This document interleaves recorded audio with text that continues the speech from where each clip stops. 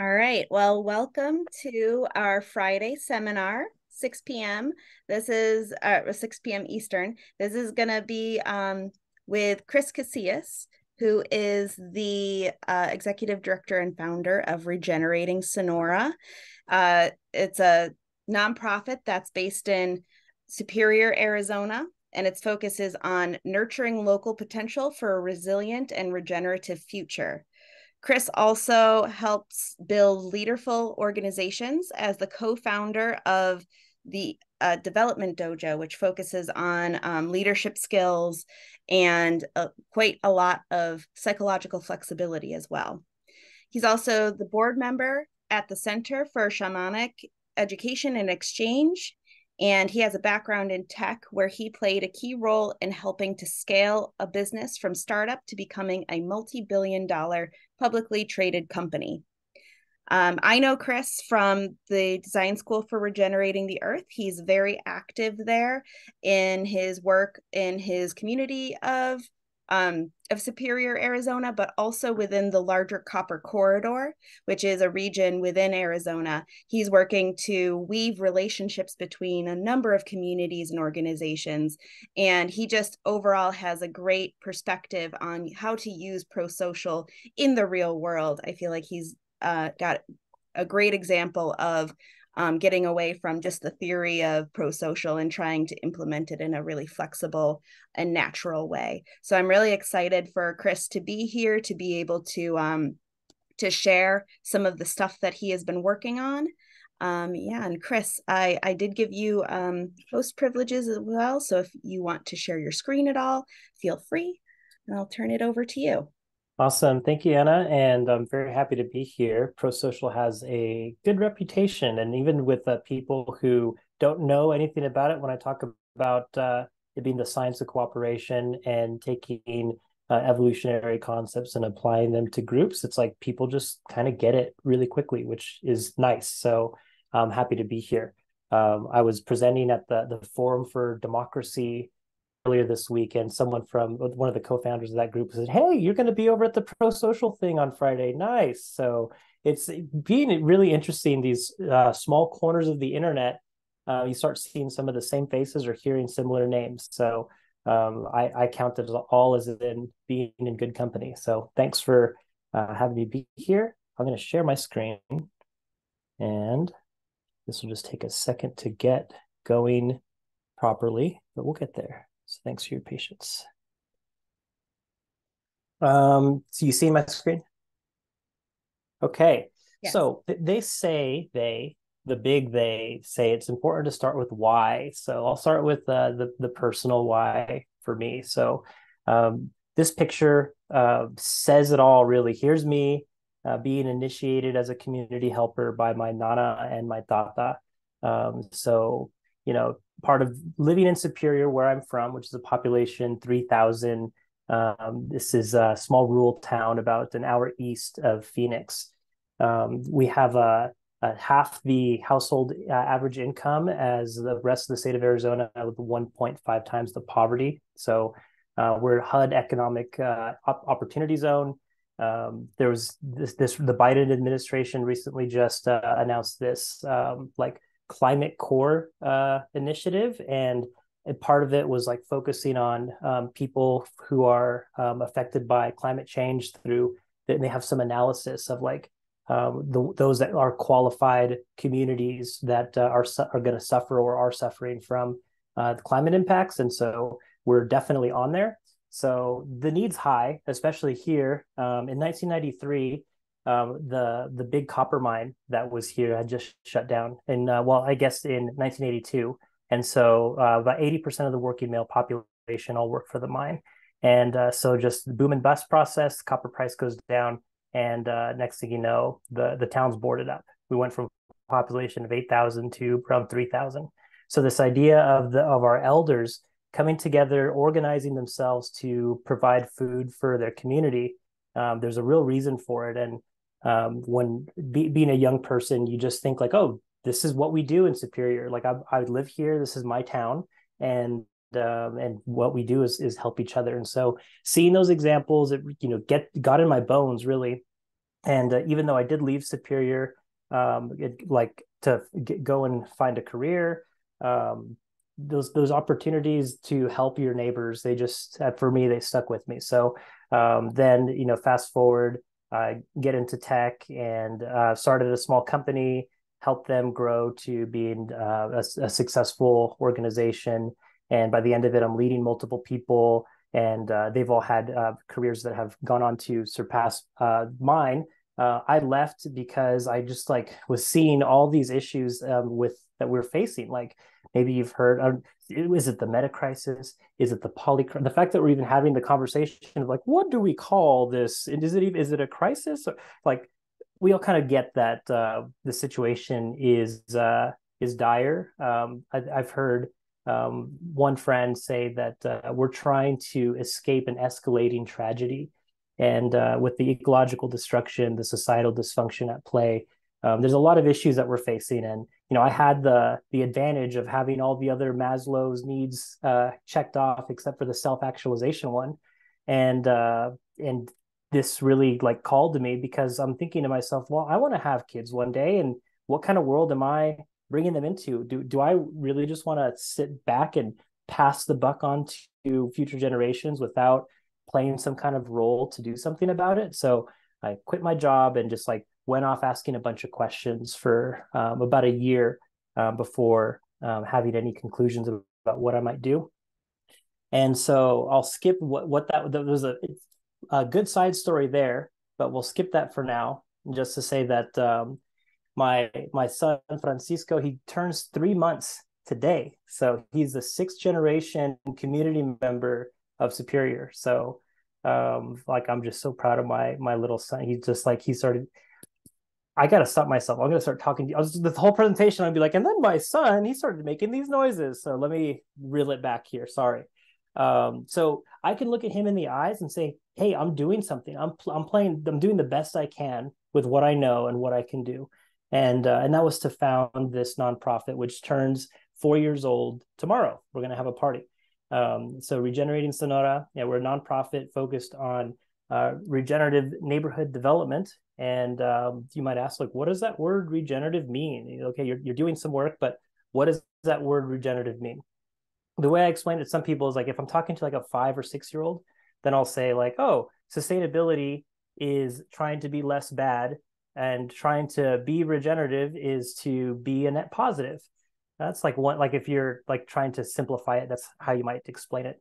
Um, but if we're thinking about uh, this in especially with a group like this we can talk about it in a different way. So if we're focused on uh, doing regenerative work um, for us it's place based so we're talking about the place that we're calling superior.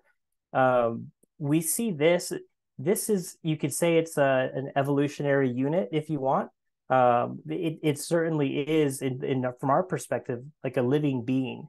The there's a there's a spirit and an essence to this place that we call superior. And uh, you can really you can really tell when you're driving to or away from superior you can feel um, a kind of shift in your body that's reported by many people when you like go there or leave there so what we're saying is when we're talking about doing regenerative development, we're looking to see the essence of the place, and that's what we're looking to regenerate um, on and on.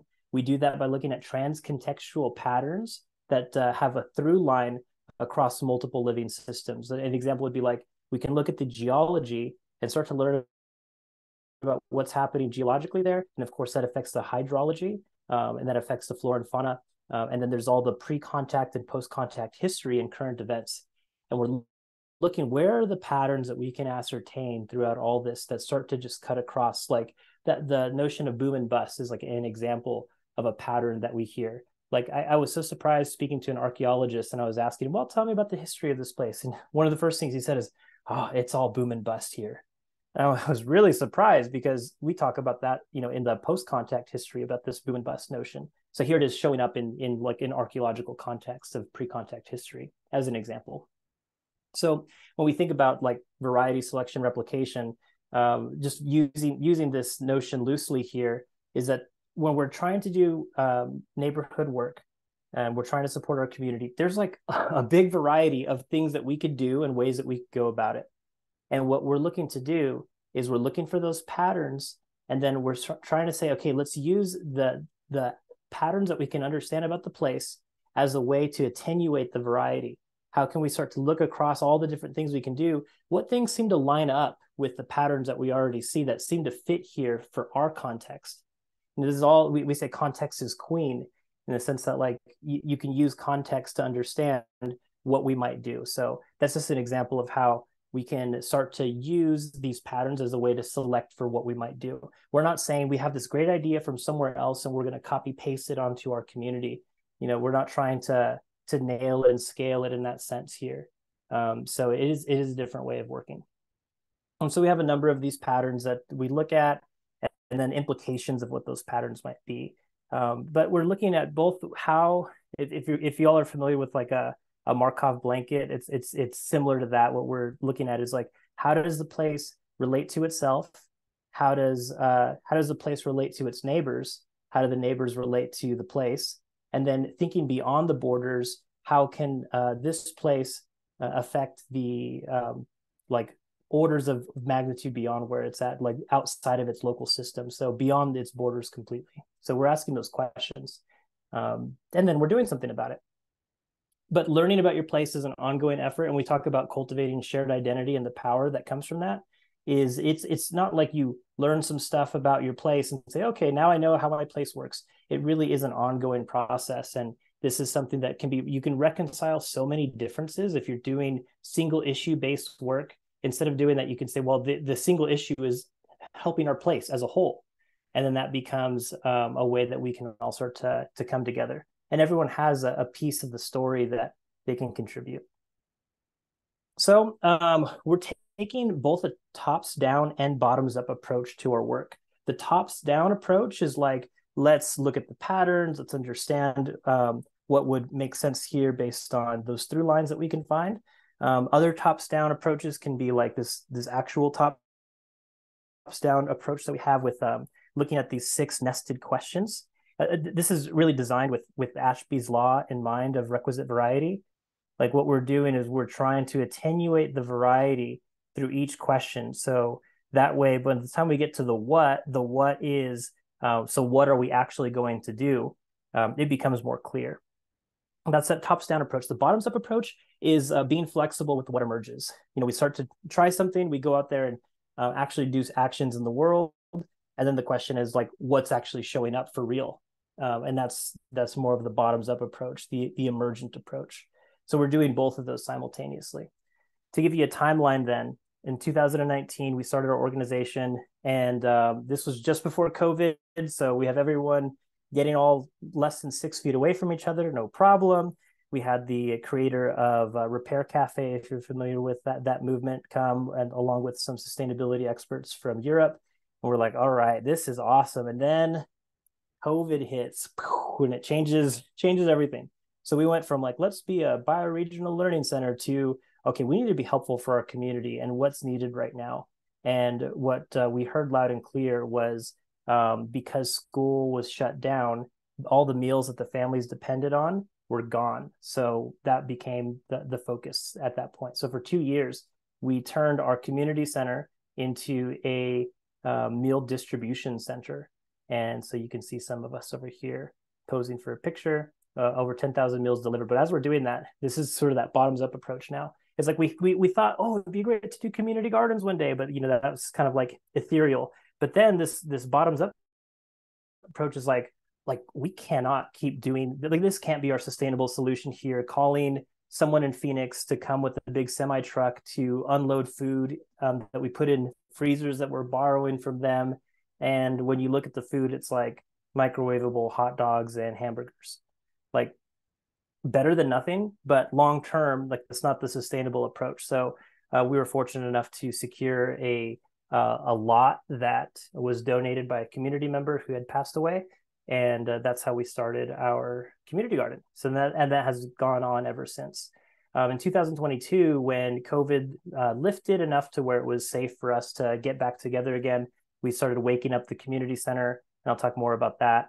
We've expanded our grow space uh, thanks to some folks who have recognized the value that we're bringing to the table, and they are financially supporting us to expand our efforts. So we literally expanded our garden site there. And then we've been doing uh, technical assistance to nonprofits and regranting um, for smaller groups that uh, don't always have access to the funds that we've been able to find.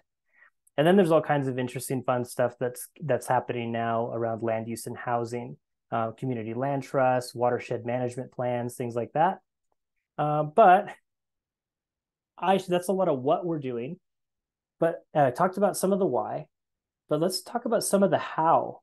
And I'm hoping to share some principles and some some practices that we're applying and some mental models that we're using in the field, so you can get a sense of uh, of what's working for us and um, and maybe that'll be helpful for you in, in the work that y'all are doing. So one principle here is how we do it is as important as what we do. Uh, another way to say that is if it's not fun, we're effed. And um, I, when people ask like, what's your theory of change? If I'm feeling cheeky, sometimes I'll say to throw better parties. Like in some way, I really do see that like if we want to change the world, we really need to throw some really awesome parties. And you can see like we're doing that here, right? It's like we're doing meal distribution uh, during COVID, but you see you got uh, uh, someone balancing something on their head. You got Raven over here dressing up like she's at a rave. Um, and then we have DJ Soupy Town on the side, which you probably can't see. Uh, we have a DJ there. We're just doing this to make it fun. And of course, it does um, mean that people feel more comfortable accepting the food. They could do it with dignity, and we can all just have fun doing it. Okay, another how. This is a bit of an eye chart, but um, I, I, like talking about this. Um, if you're familiar with Dave Snowden's Cynefin framework, his multi-ontological framework for seeing how there's different orders of, of systems that we can participate in. There's the chaotic, and then there's this distinction between complex and complicated.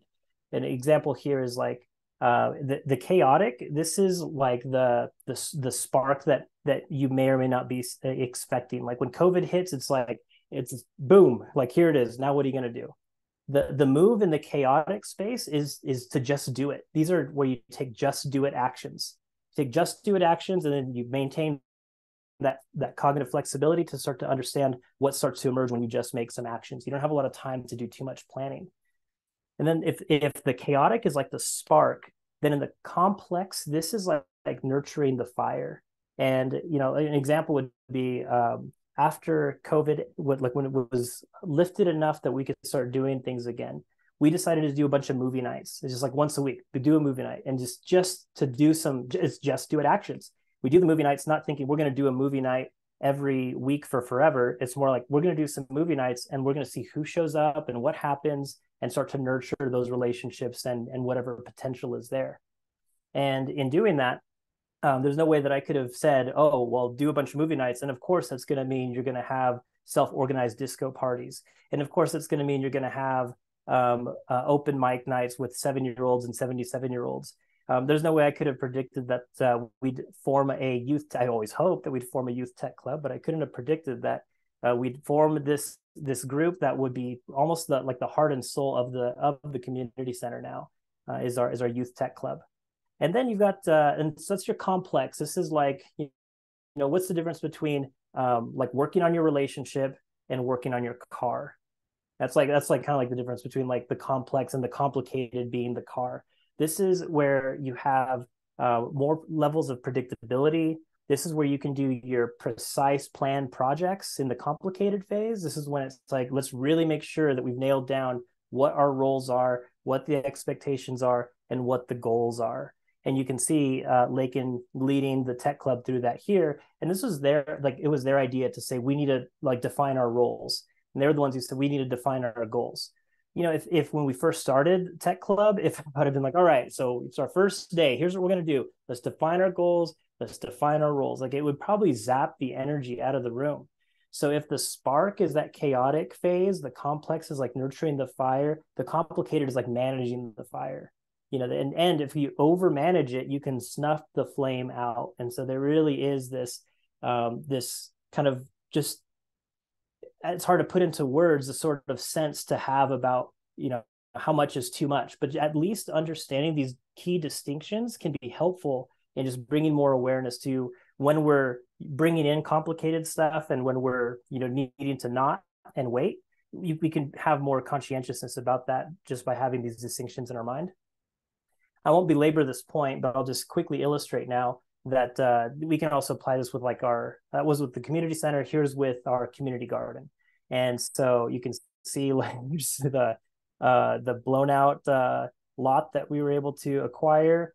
Uh, we got uh, William and Abel over there, or Abraham over there, working on uh, cleaning it up. And there's some police officers who showed up on the first day that we did our garden cleanup. And look how far away of a difference those pictures are from like this complicated phase where now we've got like some graphs where we're tracking people's time and we're starting to be able to say that we can predict the number of hours that we're spending, the number of beds that we're building in a month, the number of gallons of soil that we can harvest. Like we can we can have we can have all of it. We can have in the complex our really fun planting parties that that we throw all the time. Uh, we usually do them for the full moon. So next Friday will be our next planting party. Um, and th- there's room for all that. And if if you're familiar with Dave Snowden's Cynefin framework, um, there's of course the clear. And uh, I, I want to put it to to you all here that um, what's clear and what can cut across these various um, aspects of of how a system um, behaves and is is that you have some key principles that you can use as you're navigating through these these various phases. And uh, like one example is that people are necessary. We have to invest in people. And I'm talking from the perspective of if like we're trying to support like local community work to happen, that um, that investing in people, like actually paying them for their time, valuing their time and paying them for it is uh is, is something that we've seen. Like the, the let's just say that the the the practice is like pay people, but like the the principle is like value people.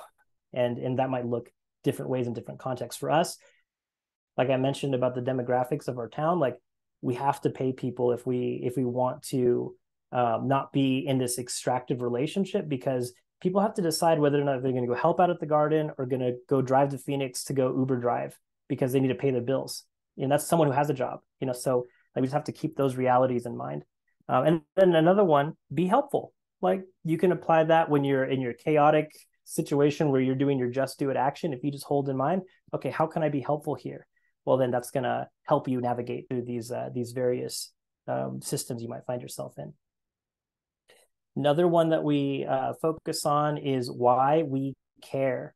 For most of us it's about uh, um, future generations and it's our, our young people. And um, it's not it's not not always just this right? There's a lot of other aspects but like if you want to pull on my heartstrings you know all you got to do is get me to start talking about uh, our youth and, and why they matter and how amazing they are.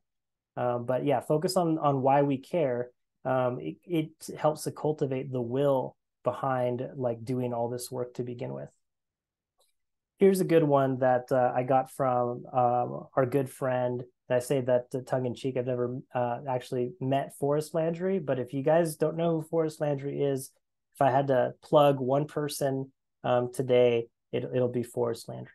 Uh, but this idea of culture and connection before vision and strategy, this has helped me so much. And I wish I wish I would have known about this four years ago when I first set out on this work.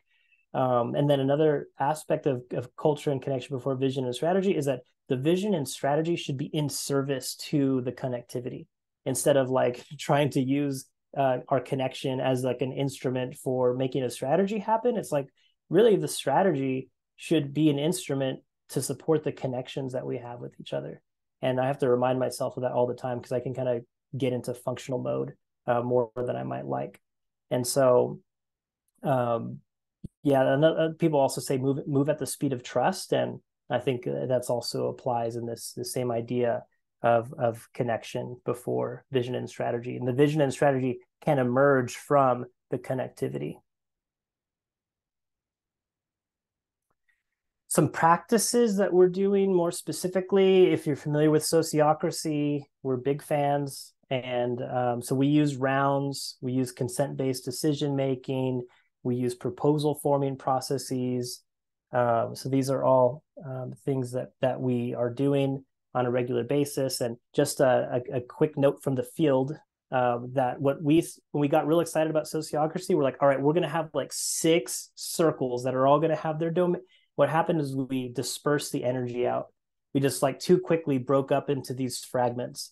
And so, just like a, a, a tale of caution, if uh, anyone is interested in using sociocracy, um, if unless you already do, you probably figured this out too. Is that like dispersing the energy? I wouldn't advise it personally. We have a gratitude practice that we do. I was I was of the mind to to nudge uh, Anna and say, "Hey, Anna, can we just do some gratitudes before we get started?" I know it's your I know it's you're the one hosting, so I don't want to be too overbearing here. Uh, but we do uh, do a gratitude practice in, in most uh, openings of of our calls, and it's just a good way for, and and, just face to face meetings too. It's a good way for us to bring our whole selves into into the room. And here's one that uh, I learned from Beto Cervantes: "Sin dinero no baila el chango," which means uh, without money the monkey don't dance. And uh, this just goes back to what I was saying before around valuing people's time um, and their efforts. So, um, big believers in this within our local context. And then this uh, is a framework that uh, I got from Regenesis and also Carol Sanford, if you're familiar with those schools. Um, it's this idea of how we think uh, affects what we think about, which affects what we do, which ultimately shapes the effects we have in the world. So, power is upstream. Then, if we can change how we think, then we can have a lot more leverage in the work that we're doing. So I'm going to share with you a few mental models that we use that have been helpful for us, and I'll use some examples in them too. So one is this multi-capital framework. We all are familiar that monoculture doesn't work, uh, monocropping doesn't work. Um, I, I'll put it to you that mono capital doesn't work either. That we really need a diverse form of capital. And this story of money on money returns being the only way to see a return on investment is is old news, and I think it's only a matter of time before we make a more effective transitions to that. For now, here's a multi-capital framework that we use. So here we have the community garden. We're going to say that this is our cultural capital that we're building when we're working on a project together. Um, so this is a, a, tangible example of us. So the community garden is that we got a grant uh, for about twelve thousand dollars um, and it was earmarked specifically for us to uh, get materials and infrastructure for growing. Great. So that's built capital. Here's Mary Martha building a garden. And then uh, we build these raised beds called Lear gardens that we're using. They generate soil. They're great for growing in harsh conditions like ours. It produces both soil and uh, food. So here's some of our harvest there, natural capital. Um, here's some of our uh, friends, young people who are getting their hands dirty, learning how their how food grows, where it comes from, and um, eating more healthy food. So this is supporting human capital. We throw those uh, planting parties, like I mentioned. So uh, social capitals is cultivated there.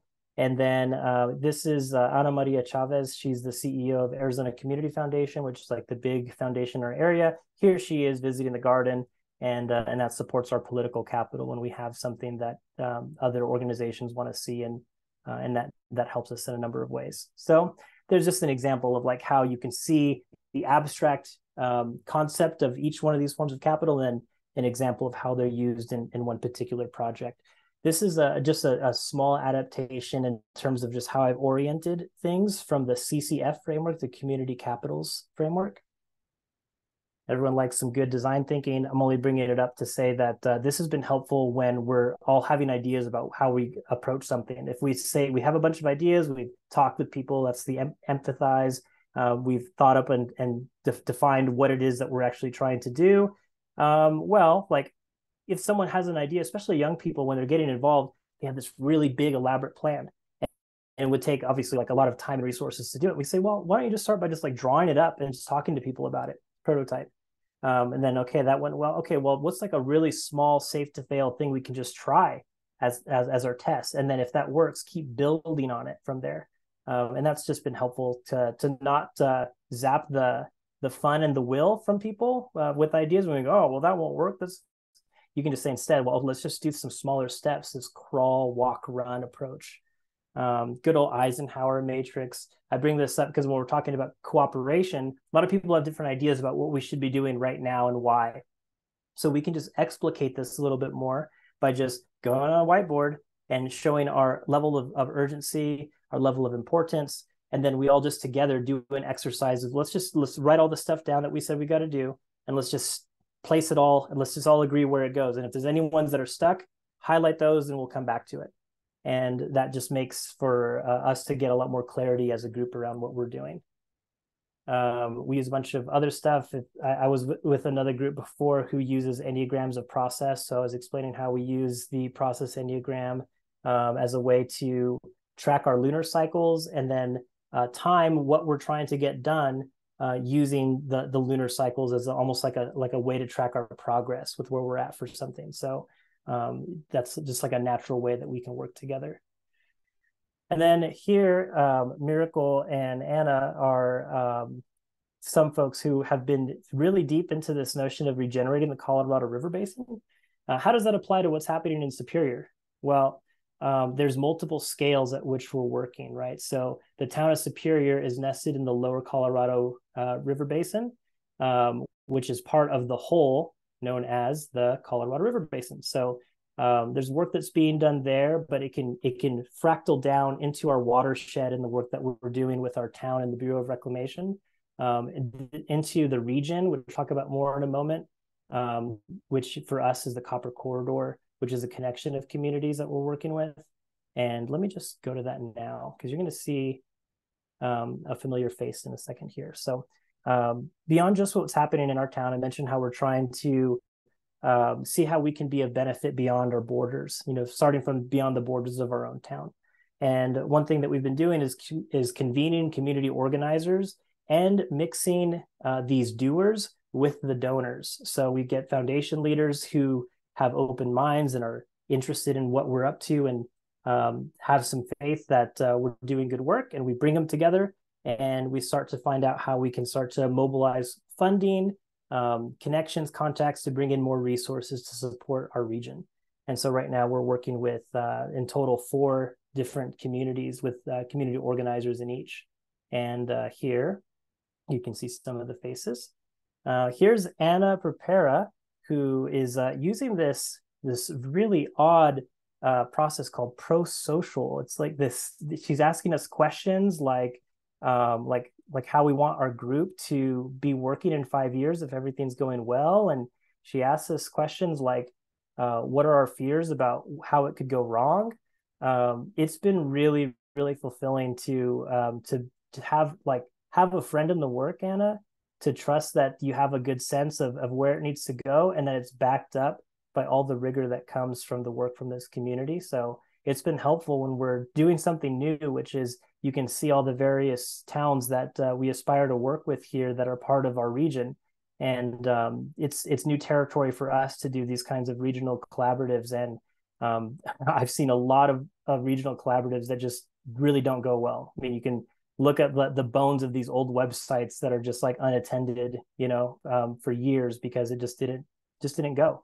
So uh, we're being careful with that. We're mixing this top down, bottom up approach again, where the top down approach um, is like the questions around pro social. I'll show you some other things in a moment. The bottoms up is like, what's a project that we can all work on that benefits us right now? That way, we still have energy and that we're moving forward in some productive ways without only staying in the conceptual realm.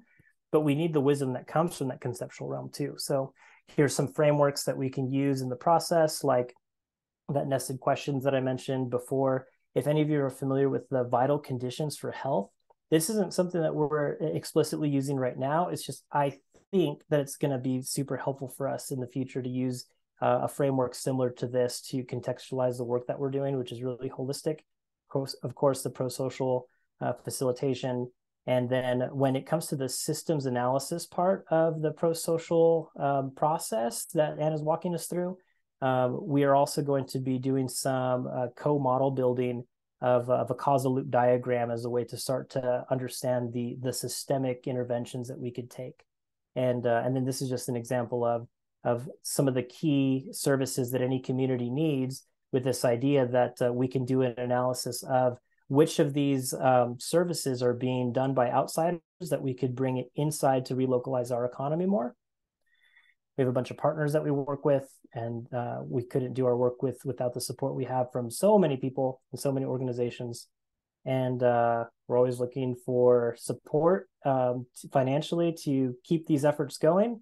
I will say that i just heard um, that arizona community foundation um, has found a, a donor that is from our town of superior and they said hey we'll match up to $25,000 for any donations that come in so we can help them help them us start a fund at the foundation and uh, and get what we need to uh, to fuel next year. So if you're feeling generous, I'll put a link in the chat. You can find our website and um, I appreciate you all taking the time to hear my words. And I'm going to stop sharing. And I'm curious to know uh, reactions and questions.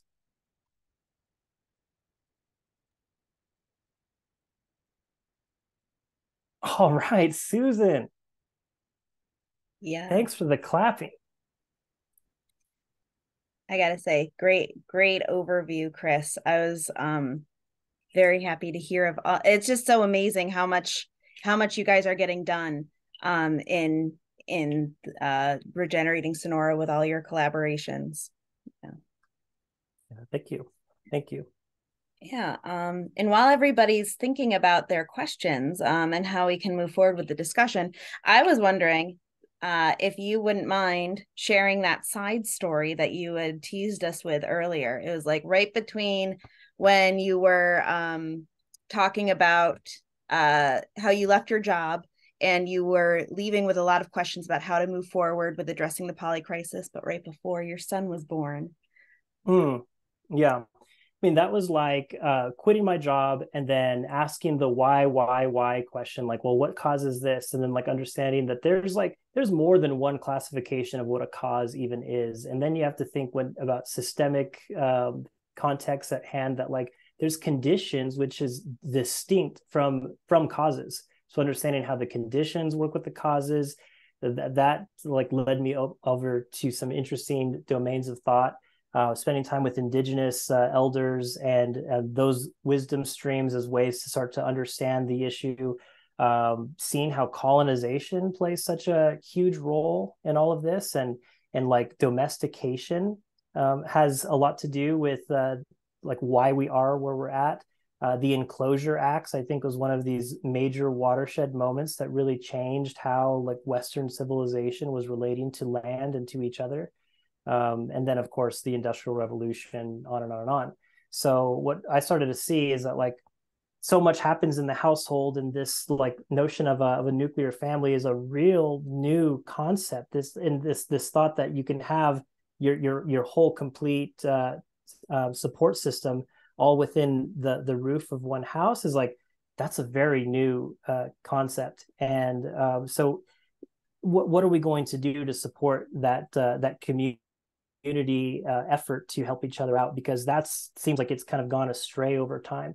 You know we've as as that colonization has happened we've progressively delocalized so much of our world that to relocalize it became um, so, so much of the work that uh, that I think we're we're now doing. And part of it is being like a, a living laboratory where we're trying out various methods models tools um, theory informed practice. So uh, we're we're kind of shooting from the hip and then we're kind of also like, like doing a bunch of big brainy whiteboardy blah blah blah like you saw. So it's like having those having those things meet in a meaningful way we're hoping that uh, we'll be able to share more more of what we learn like the fact that i'm here able to share with you what we're doing here it feels feels really good for me. It's fulfilling because our hope is that we can share what we're learning and uh, and that it'll be tested in our context for other people to find out how they might use some of these methods and practices and and maps in in their own contexts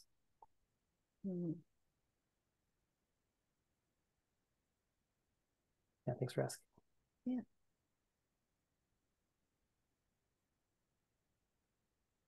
well beatrice briggs yeah yeah uh, hi I, i've been fascinated by your description and and and applaud you all the work that was done. And it reminded me, I did a lot of bi-regional organizing work in the 90s in Chicago, where I lived at the time.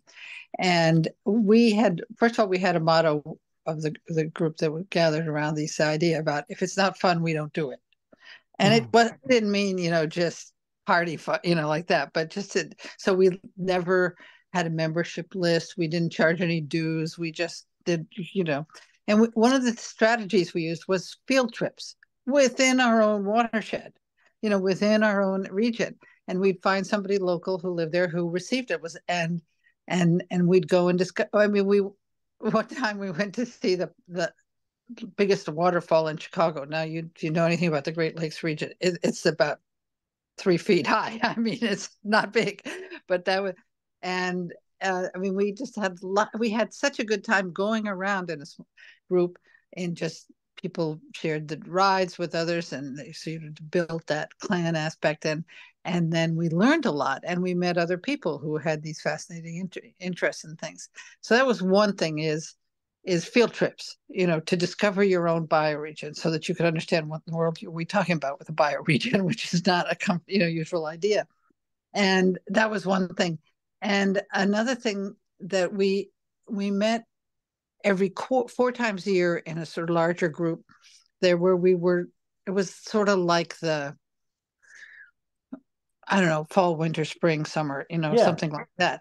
Uh, and with some kind of, uh, it was a kind of ceremonial thing, but not like heavy, weird, you know. But uh, like one time we, I found a list of all the endangered species in our region that came out of there and we did it as sort of a litany we went around and passed it around everybody you know people read from this list and we had some way of acknowledging each one of those i mean they were just simple things that we mm-hmm. figured I invented to do to make us uh, change our relationship to where where we were another and um so oh and the, uh, just the, uh, here's one more of the guy, things that we did that was very helpful at least we'd say how do you know it's spring here I mean, there are four seasons, but how do you know? What are the signs here in this area? You know, we get things like prairie people would talk about this prairie plants, and other people would talk about what happened in Lake Michigan. And but oh, and the other, and the last one I'll mention is we also looked around because I was desperate to find somebody who was writing poetry. You know, like the um, Gary Snyder of of of our region, and we found them. You know, I mean, whatever whatever answers to all these things once you look so I really encourage. I'm delighted to see what you're doing, and I think it looks. I love the model, and I can see why it works. So, mm. way to go! hey, thank thank you. And you know what, uh, Beatrice, you're doing is you're just like adding this extra nudge into this aspiration uh, for us to do a field trip to the headwaters of the Queen Creek, uh, which Absolutely. is like, and and then down to where it used to connect into the Gila. It's like I've never seen this with my own two eyes, and like some of us are interested in doing that. So that well, was like, do it Go nice, for it. nice. Yeah. Thanks for the juice. And then also, yeah. uh, I wanted to, to mention, Anna and I, like, we haven't talked about this, but uh, I was thinking with all the information that we've harvested from those questions that you've asked around like group dynamics, we have so many artists in in the groups. It'd be interesting to just like be like, hey, like, can you do something artistic with this information? Like, you know, so absolutely, and then you, and then you have an art exhibit and you show it off all together. And I mean, there's just so many things that are creative and positive and help bring people together around their, you know, where they live. The uh, the one last thing is that in oops, uh, that I've recently had a renewed appreciation for is the idea of belonging. People having a sense of belonging to the group in this case, you know, that it's because they were random. There were people who didn't even know each other before, but they were brought together by these ideas and these activities. So eh, now, in I don't know, I'm a group facilitator by profession, and in a lot of things that have to do with participatory processes, there's a big emphasis for the, in the last couple of years about about DEI, diversity, equity, and inclusion. Okay, fine. But somebody pointed out early on, and I think it's just brilliant. Okay, you can do all those. That's good. But what you really need is belonging. A people to say, "Yeah, I belong here. I belong in this group," and um, then it made me realize that, I mean, it's thinking about that now. There's these events took place 20 years ago, but uh, that there was a specific moment that was so important we had one of our quarterly get-togethers, and there were going to be a, a number of new people that were going to be coming. And so I asked one of the guys who had suggested the very first field trip we took.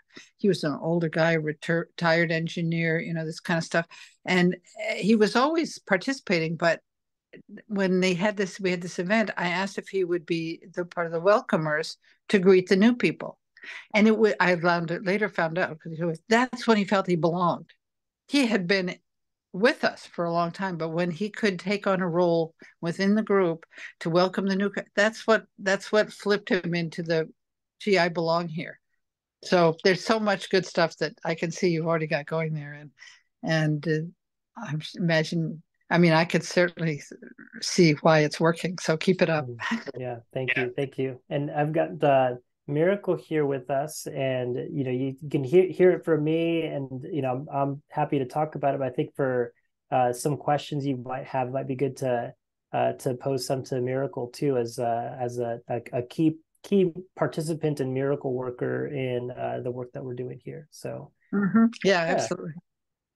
Yeah thanks for that Beatrice no you're welcome Susan Thank you. I loved your presentation. Thank you so much. I'm curious, I, and I, I liked kind of the chaos and complexity. Mm-hmm. Uh, that was beautiful. I'm curious about those um, Monday night movie nights or whatever night you chose. Mm-hmm.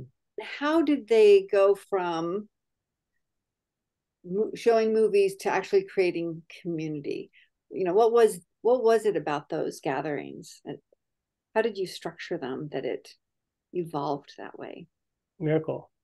So um i like when we first got started and i got uh my feet into regenerating sonora um it was like at the very beginning when leo's was starting to open up again. So even for me that was like my first like experience and my my first like um community events where I really was like a part of of Leo's. And it, movies um I think were movie nights was just like we want communities to know about us. We want them to know that we're here and that we're doing things and so that was just a good starter for people to get their foot in the door and know that we're doing all these fun things and that they have opportunities to do more fun things if they just participate. Um and then it started to slowly move into like other things like community potlucks or like holiday events um or like themed movie nights where people would dress up in costumes and come and and bring food to share and then once we got that that sense of community within a smaller group they started to bring in their friends. They started to have ideas that they wanted to see at the community um, development center.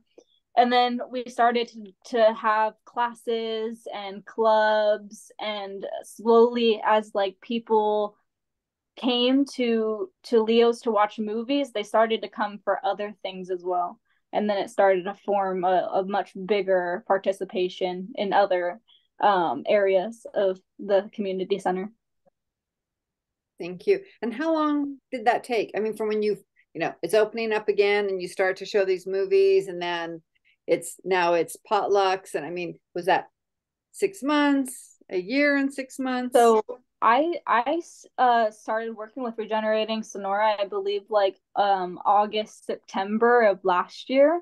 And that's that's around the time we started doing the movie nights. And then um, because of our facility and uh, the temperature outside it was like kind of barren for a little while as far as participation because um it, it wasn't exactly comfortable so then we had to start thinking about like how are we going to get people out of their house and out of their comfort zone to come out to somewhere else to to be in participation with our events um and so i think it's that that idea started to shift a little bit of like you know doing the themed movie nights having food available um, you know, having blankets for people to just like be all cuddly during a movie or something.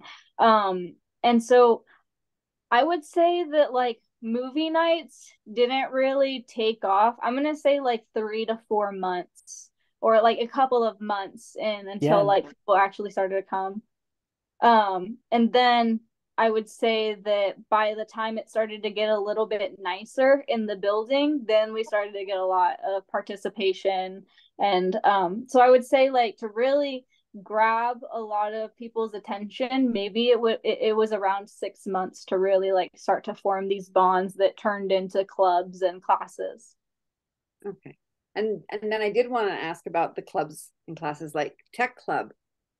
Tell me about Tech Club. Oh my gosh, yeah, that's that's a huge topic. Um so there's there's a lot of excitement going on right now. I think I want to start with the most exciting things actually. Um so well let, let me tell you the history. So it started off with like one one kid come in, he brought his friends. There was three kids. Now there's I think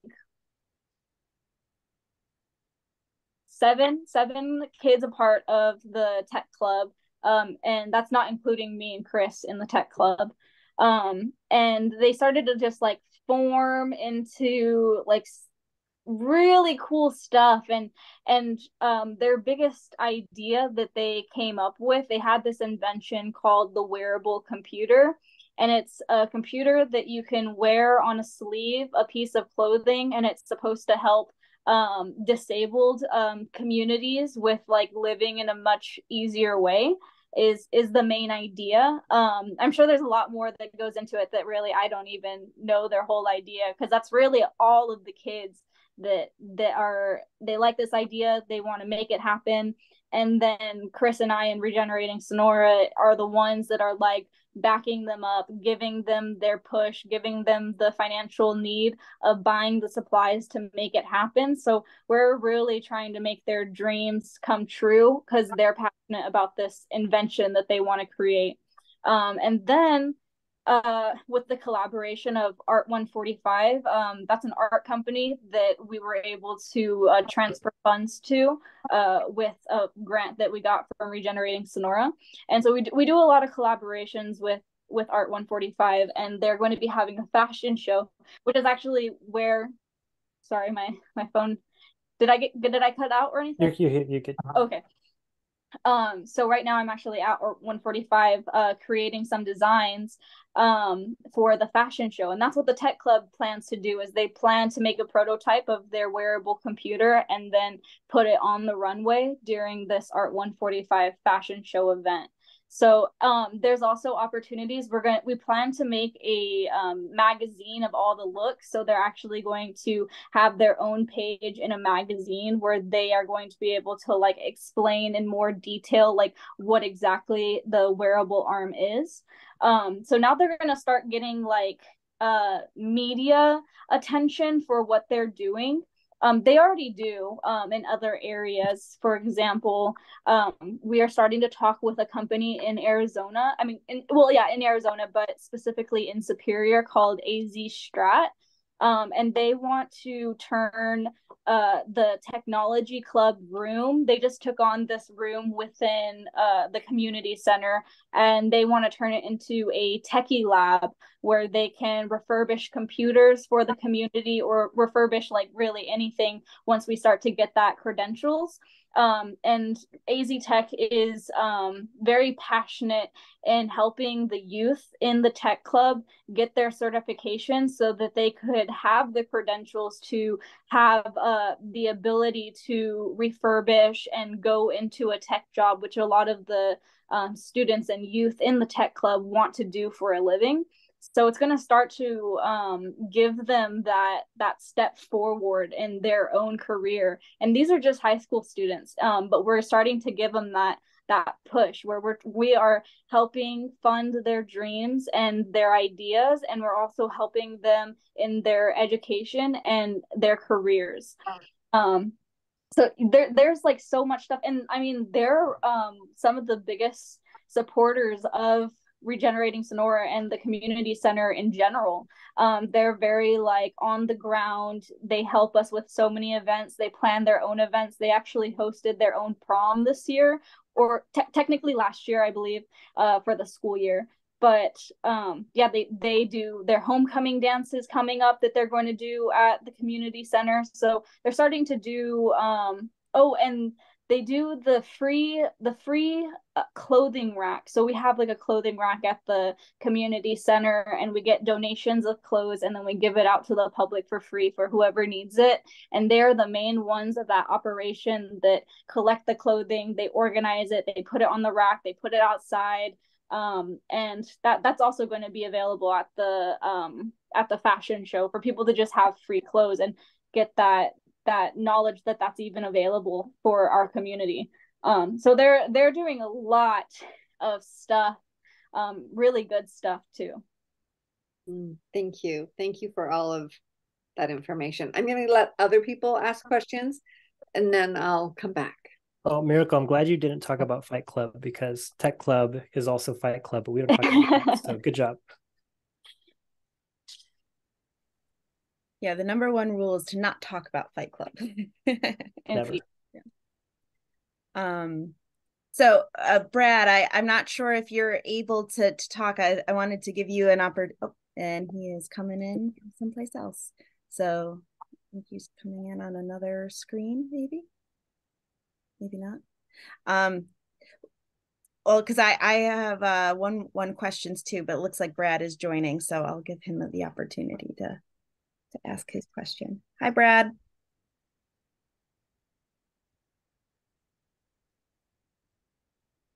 Brad.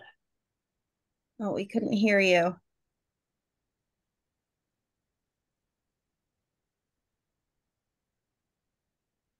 Go ahead, Anna. Maybe he's getting situated. Yeah. Um, so I I know that this is a story that you told me about um how you identified some of the hey Brad, how you identified some of the the key goals that you wanted to to um identify that weren't actually really all that um all that apparent to you when you first uh probably when you had your your board member retreat? What it, was that regenerate sonora really wanted to to dive into? Um, so I was wondering if you could kind of share some information about how you really helped define what your purpose was and come up with all of these really strategic ways of I, addressing those that purpose. Yeah, I mean, here's there's a couple ways that that we've been doing all this stuff, but I think the most tangible way to talk about is I'm going to pull up so I can actually show you is this causal diagram that we built. So we had some help from our friends uh, Mark Pearson and Carrie Turner, and uh, we had this big whiteboard where we were just looking at uh, the town of Superior. Uh-huh, okay, that the town of Superior as a system, and um, we started to write down all the variables associated with um, the, the health of our of our place. And then we started to see what affects what what reduces it's like like back to the moon it's like what's waxing and what's waning. So um, higher prices means a, a, waning household purchasing power as an example here. So all the dotted lines are the waning and all the solid lines are the waxing. And so we started to map this all out. It's kind of an eye chart to look at but uh, it's it's really interesting when you just kind of follow some of these along. But we start to find that there's some reinforcing loops that occur that uh, if we're trying to make some significant changes if we can leverage exponential uh, effects then we're going to be able to be all that more powerful and you could just see here as like a as a for instance that uh, household purchasing power uh, increases local spending uh, local spending means more viable local businesses which means more local employment which supports household income which gives you more household purchasing power as an example, right? So when we saw this, and you can look at these variables and see how much feedback each variable sits on to know uh, which ones are, um, are are highly networked with other effects. But what we found here is this whole reinforcing loop tells us, gosh, we weren't really thinking that we were going to focus too much on entrepreneurship and and, and local business growth, but like if we want to help um, financial stability and household purchasing power, which we saw just ends up having all these other relationships. And like you kind of know, like, you know, hungry people, um, they don't always want to stay hungry. They're going to do whatever they need to do in order to feed them and their families, as a for instance, and just not having the resources and support that one needs to have a, a, a quality life has drastic effects for the town. So, uh, household purchasing power then is like one of these uh, nodal points because this also showed us why land use and housing became so important because affordable housing like everywhere is such an issue so if we want to um, help with financial stability and, and household purchasing power then it, it, essentially was necessitating that we need to do something on entrepreneurship, like relocalizing our economy and uh, and, and doing wise decisions around land use and housing. So yeah, not not things we really set out to do originally, but it's like, well, necessity is a goddess around here, so you got to do what she says.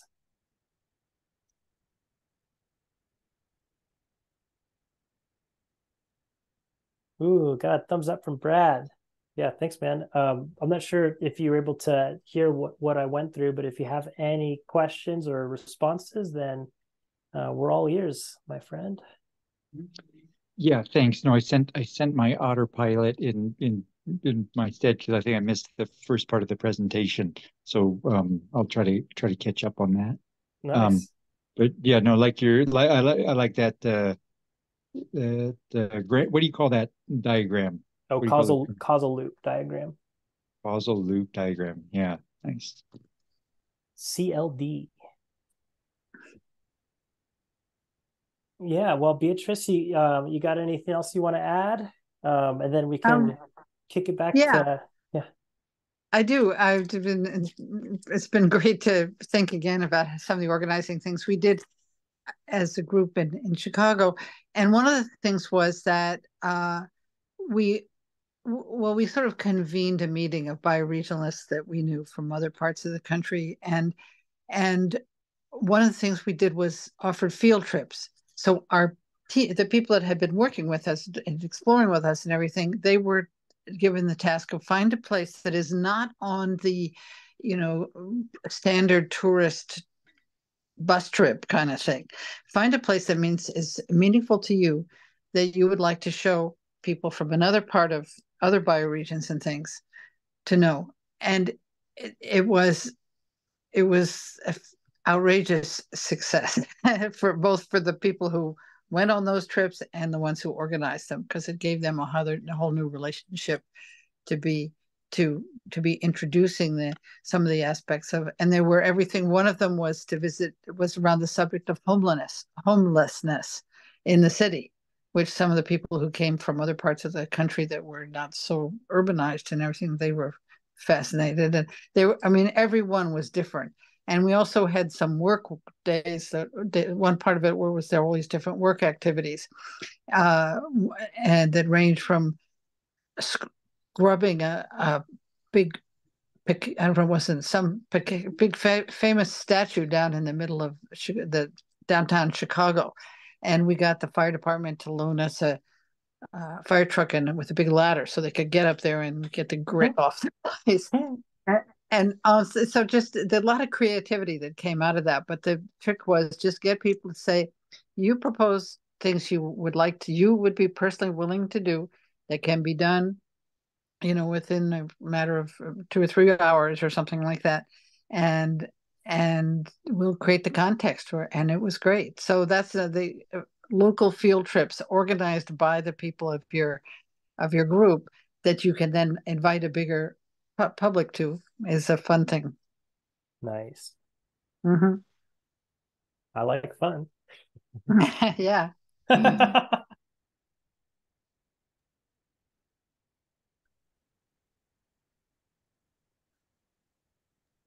Are, are you done, Beatrice? I don't want to cut yes, it. I am. Fin- you know, finished. Yes, thank you. Sorry. Uh, and I really liked, you know, if it's not fun, we're effed. I, I love that. And I'm curious. I mean, if you were to ask either the youth that have been involved or the others that, like, what are some of the most fun things you have done that have like gone off, like through the roof? Right. Fun that people have just said, "Oh my goodness, we need to do this again," or "I can't wait until we do this next year." Mm, good question. I mean, no, a lot of. Things... Sorry, I'm asking. I'm asking Chris. Great. Oh, okay. Well, let's let's kick it to Miracle.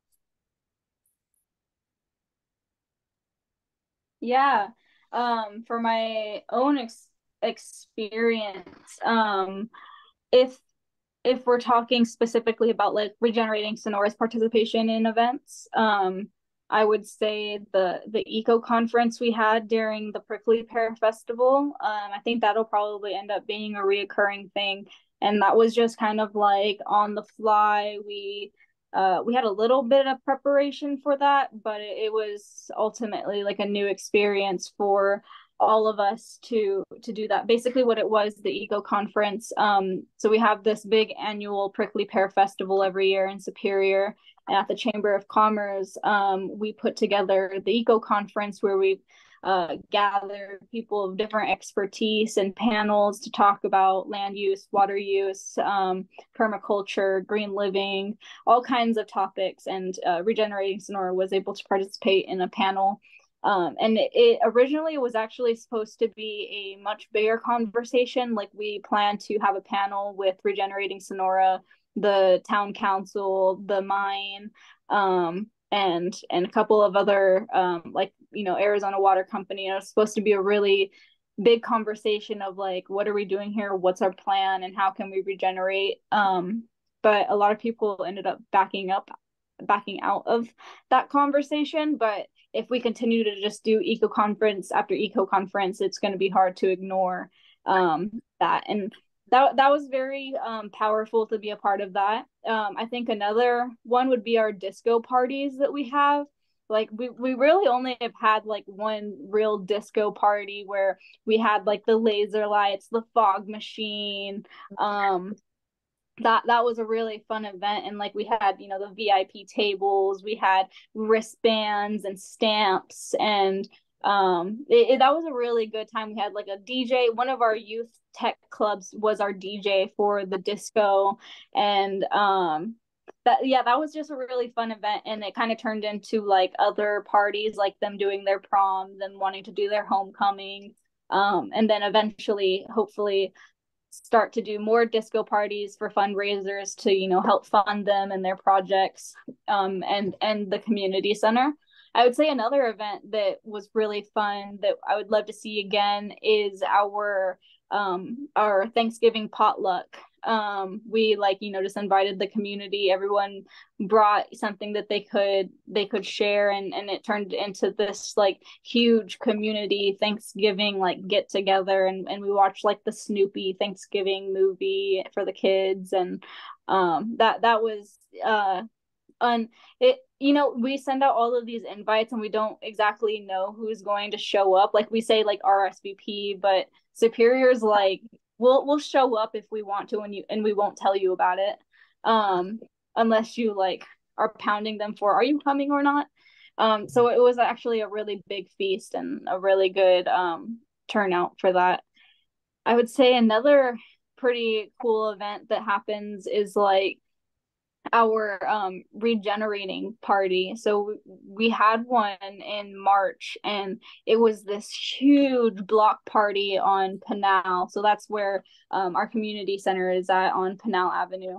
And we had like the road blocked off and there was people from all over arizona as far as like uh, phoenix to kearny and like um, so many different kinds of nonprofits and lots of organizations, foundations. They came here. We made the front news of we made the front page of the newspaper, um, and you know that we we had it catered. We had like a a list, a set list of like all of these things that were going to be happening, and we really got to celebrate uh, for the first time with a lot of our supporters, like regenerating Sonora and and regenerating, and um, that that was a very powerful event that happened for us. And uh it was a fundraiser so that we could buy our building. And i think like we we made a lot of money on that fundraiser. Um it i would say like it what more than $40,000 was made? Almost. Yeah. Yeah Great. So that that would be nice to see to see that event reoccurring like every year having a regenerating party. Um so and I'm excited to see uh it I feel like it'll have the same feeling when we have regenerator regenerating Sonora's fourth fourth birthday this Saturday. I feel like it's gonna have that same feeling of like we're we're celebrating what we've been doing and it's a good update and um a good time to get our supporters together. I'll mm. I'll, uh, I'll throw two other ones in there uh, before uh, Anna, if that's okay, because um, I'll, I'll, like I'll, I'll probably lose them in my mind to to reference them later. But uh, just talking about like what what happened yesterday and what we have planned for next Friday is like super exciting in my opinion. So um, like early in the morning, um, we had uh, our friends Benedo and Francisco from Mexicali as they were leaving from uh, the Colorado River Basin uh, Landscape Leaders Retreat that Anna and Miracle were at. They came and stopped in, and we got to hang out with them in uh, in Superior, show them around, have a good time. And they bought some soupy soil from us, which we were really excited about because this is like we're trying to to get our soil out there into into other people's gardens, right? And then so that was a, a nice time. Later on that day, uh, we had uh, people from a, a, a farm in a neighboring town. They came in, they bought uh, 15 gallons of soupy soil from us, and we got to talk to them and find out that they live in Globe, Anna. So we got some more people that we can bring into the into the collaborative that we're doing. We had had a great time there. And then um, I had to say bye to them because we were talking with U of A's environmental department about the event that we're having next week. And like uh, um, John, one of our tech club members, just was, was so excited to find he's talking to a professor at U of A. He was like, "Oh, this is so cool!" So that was fun that he was excited. And part of what we were planning is on Friday. So next week is the full moon, and we are uh, doing a full moon planting party. But uh, the whole lineup for the day, I think, is really exciting because from one to three is U of A comes and does a science uh, activity with our youth. We're doing arsenic testing of, of water samples. And so we'll do that from one to three and then we're all going, including our U of A friends and some other uh, other partners. We're going to be in the homecoming parade, so we're going to all be all be part of a float. We'll do the homecoming parade. After the homecoming parade, we'll go to the garden. We'll do the planting party, and then we'll pack up from the planting party, put everything into our vehicles, and drive to the football field uh, for a tailgate to watch the homecoming game. So it's like I'm really pumped, and it's just so it's it's hilarious how much goes into planning some of this stuff. Like, um, and then t- tomorrow we're having our regen parties, so we've got our yeah, totally. We've got our like invite list and like what do we need to prepare and do and like all the logistics, but it's just it, it's fun. You know, we're we're having a nice time doing it. And many hands make light work, if you know what I mean. Um, yeah, thanks for asking that question. Anna. Yeah. So I'm wondering Regenerate Sonora has only been around for four years, and obviously there's a big difference between all towns pre and post pandemic. But you you guys seem to have such amazing attendance at your events for such a small town. I'm wondering if you can speak to like how Regenerate Sonora has really changed or had an impact on the culture within Superior. Is it is it it because it sounds like it must be tangible and like noticeable so yeah. Yeah definitely. And you know there and there's direct ways and indirect ways right? Like some of the indirect ways are like with our regranting programs that we do. Like we received a $30000 grant and two-thirds of it went to local organizations for them to do their work. So like just them being able to put on their events and do the programs that they need to do it's like you don't you don't see that it's regenerated Sonora that's doing that but just knowing that like we're helping other organizations be able to fulfill, fulfill their missions and provide um, it, exciting and engaging and morale boosting events for the town is important. And then there's like small things like um, our town, and maybe this is other towns too, is like notorious for like places never being open. It's like you uh, you want to go eat over at the restaurant and they just happen to be closed that day and then you want to go to the restaurant the next week and they happen to be closed that so just us being consistent about our offerings like we say like hey first uh, wednesday of every month is open mic night. And it is you know the doors are open from uh, four to eight on thursday and the doors are open from one to five on friday. And then we have these kinds of events on these other days. And it's like just understanding that there's like things happening on a consistent basis that people care enough to continue to sustain these ongoing efforts. That like speaks volumes.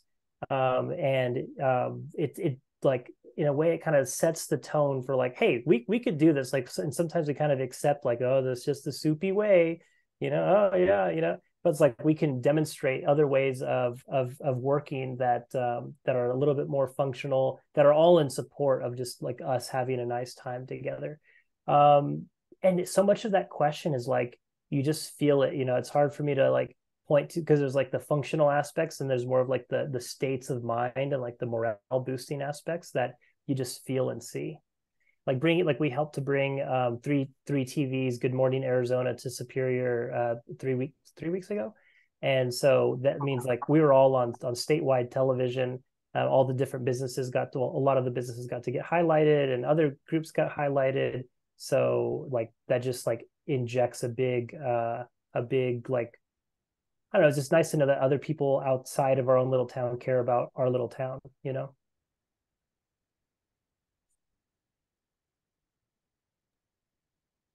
one of the things that I suggest, can you hear me okay? Mm-hmm.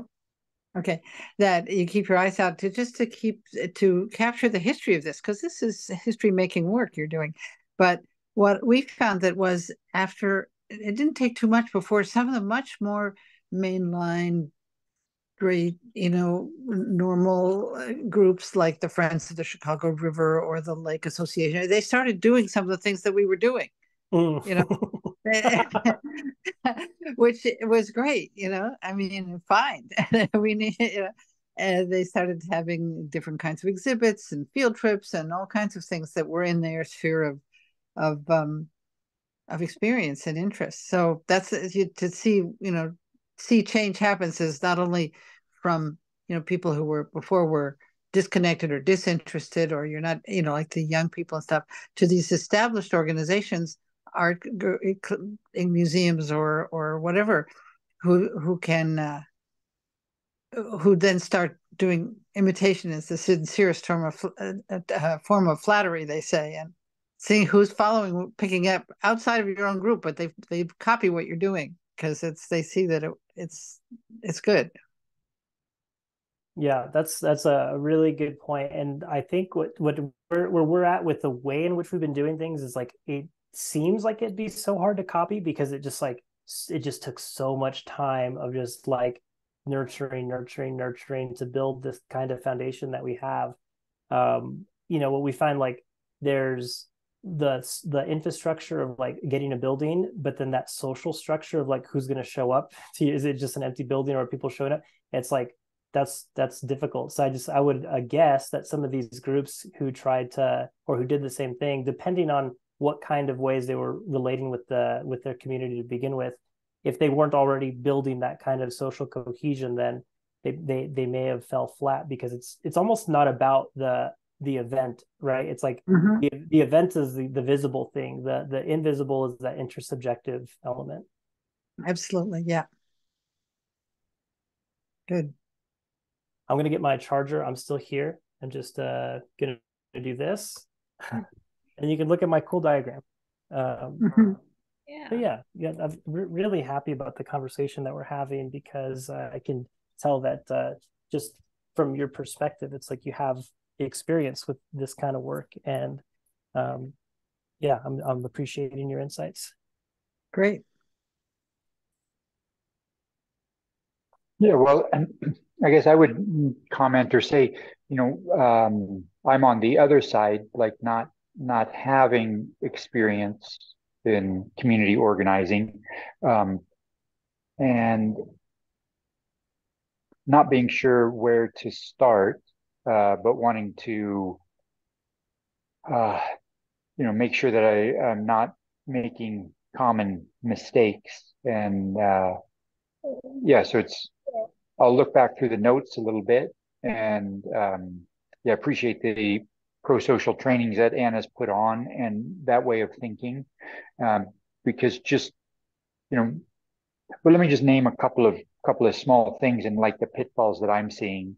Uh, you know, for me personally, um, in my HOA, which has 291 members, um, you know, there's been some, you know, upheaval from like, you know, uh, us removing the manager and then um, you know getting a new manager and stuff.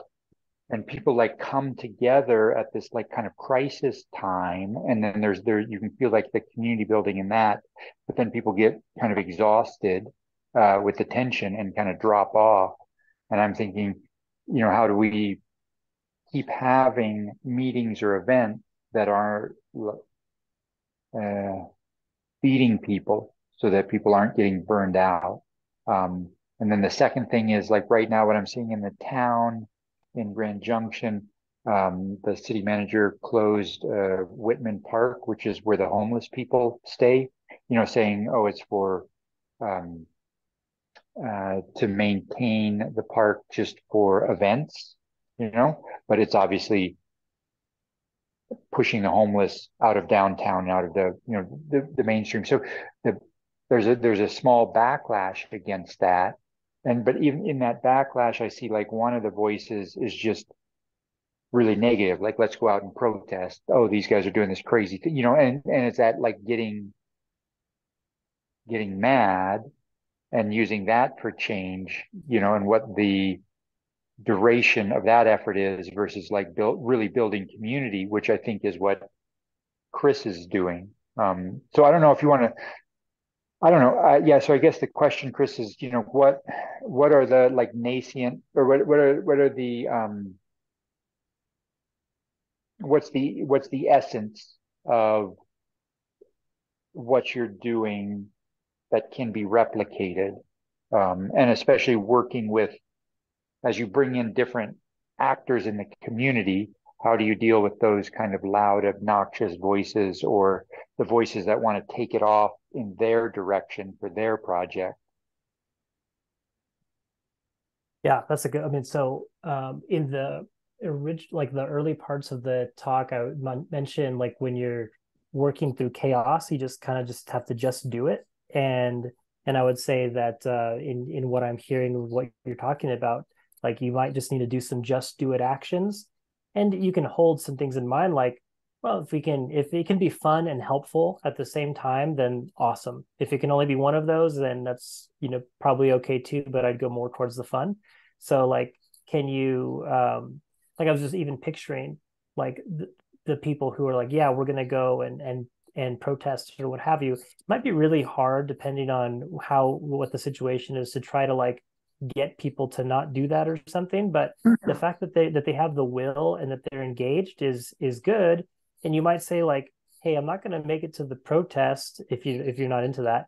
But after the protest and we all meet at this one location when it's over, like based on the route, how about we just go out and get some drinks over at the place across the street or something? And you mm-hmm. might be able to mm-hmm. you might be able to be the one to kind of peel off some of what's happening there because essentially you're just working with that energy that's like has the will to go out and do the marching and say, okay, cool, cool. Well, then after you do that, then let's kind of shift shift things around and go have some pizza and beer together or something, you know? Mm-hmm, mm-hmm. Um, yeah. But I, I yeah. think the the common mistake might be like thinking that there's a perfect way to do it and not doing anything because you're trying to find the perfect way to do it. And it's just like, you know, just find some ways to to have some fun with people and that structure of the HO, like the structure is going to have something to do about the quality of connectivity that you're having, right? If the structure is the the the HOA meeting that happens at this time or whatever, I would try to just get out of that structure and you know try to have some ways maybe some people that uh, you think are like-minded or uh, are not ultra busy and like are are like kind people to just like maybe just go have like some some breakfast talks or some lunches mm-hmm. something mm-hmm. to just just and and just just let then let that inform what that next right thing to do is that'd be my recommendation yeah, it's yeah.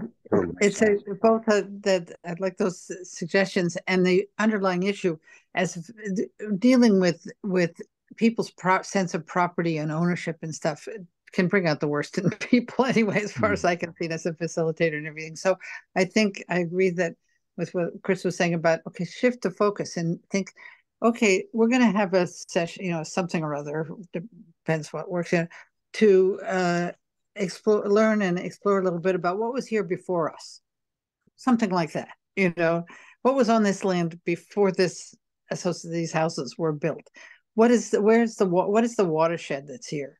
You know, where does our water come from? Because mostly people say the faucet. You know, so that's not quite good. You know, before that, you know, and just get thing, get interesting question is that people that these same very people who were so can be so argumentative and hostile about certain things when you get something like we're talking about right here well did you ever know did you know that da, da, da, da, or here this this part here this is where the you know the watershed starts or ends or whatever to, but just make it a more uh, switch the focus of what they're talking about you know and they're so that they'll be more curious than argumentative but beatrice but beatrice not everyone is going to be interested in that Of course not. But so what? You just find the people that are right, and I think that's yeah. You find like, the people who just, are. You, yeah. yeah. You don't don't don't try to be all things to all people. In this case, would be another recommendation. Brad is just like just with what Beatrice is saying. Know in your mind like there's going to be the people. Oh, blah, blah, blah. Well, okay. Well, who's into this? And those are the ones that you go and have your your coffee or lunch with, and then exactly. let that build some coherence and strength to be able to later on withstand when the one person tries to come and do something else with it. Yeah, I'm really, really feeling that energy and that uh, that clarity as you're as you're describing that.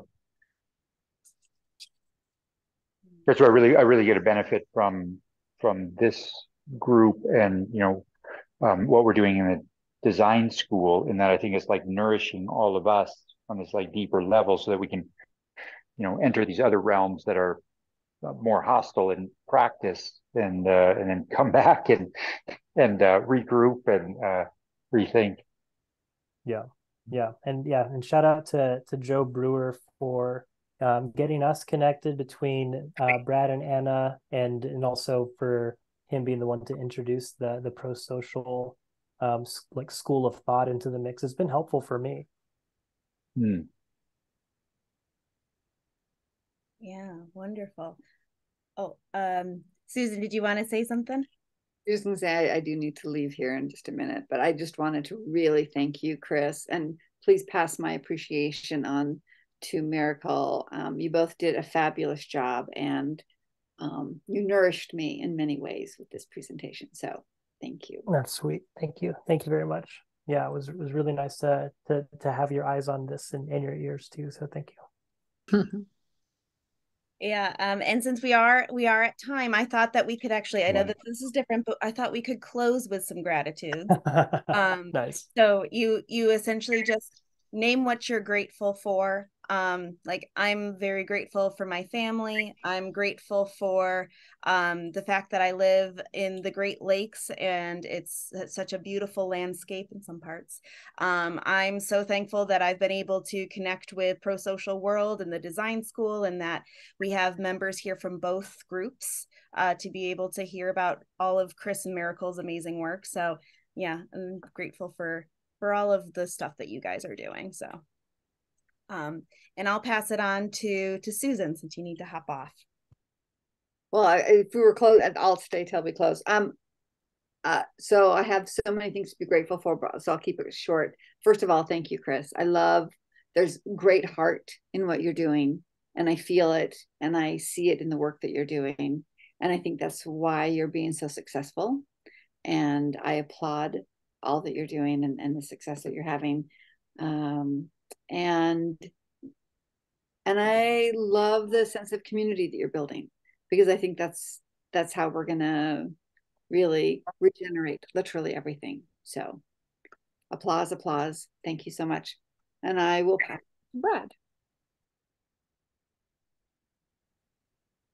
Yeah and i'm just feeling grateful for being able to show up at this time. I've had to um, you know, kind of drop out and cancel a lot of the the things that I was intending to go to. Um, so, you know, thankful for the uh, the the internet and thankful for my friend who picked the kids up and took them to the library. So I had a little bit of a little bit of downtime. Um, yeah, and and thankful again to to um, Chris and Anna for this for this time to um, put this stuff out. And and I'll pass to uh, Beatrice. Thanks. I'm grateful for this whole movement that has brought. I feel like I I found again my tribe. I was so up involved as you could probably pick up when I was living in Chicago, and then I wound up living in Mexico, where I had to adapt in a whole lot of other ways and learn the language and and have been involved with the bio, very wonderful bioregional activities there. But uh, uh, listening to you all and, and telling your stories and what's going on, it really well, for me, it's a big relief to just have, be in a in a in a context where you don't have to explain what a bioregion is. that there's some level of understanding of that. So I'm just grateful to feel like I've sort of felt like feel I'm in the process of moving back to the United States to be with my fam my family of origin and and it just it just makes me so happy and enthusiastic uh, about that, not only to see my daughters and my grandchildren and all that, but also to know there's people out there doing this great work. So thank you. Hmm. And I'm seeing this on my phone, so I don't see who else the other number, the name. So somebody else help me out. Who's Yeah, who's I'll, I'll left? jump in.